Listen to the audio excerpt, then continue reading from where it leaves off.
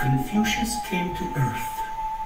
He was greeted by a woman with ten arms and legs.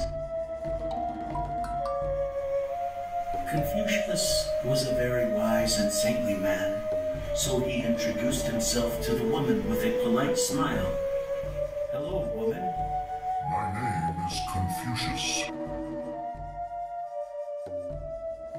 My dear soul, would I be of service to you now? I might guide you through this unfamiliar garden, no?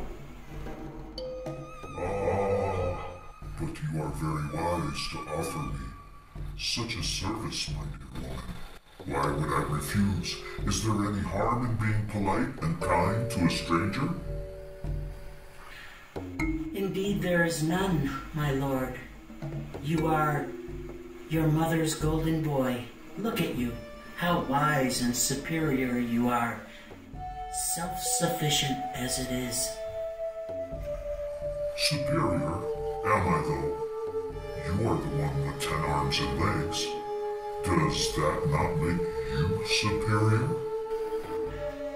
Don't be afraid of my ten arms and legs, my dear. I have two legs to walk with and three to scratch your itch, two arms to swing, and three more to gather with. You've called me your soul. Mother's golden boy.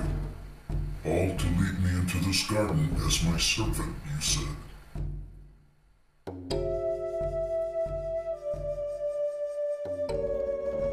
I am submissive to thee.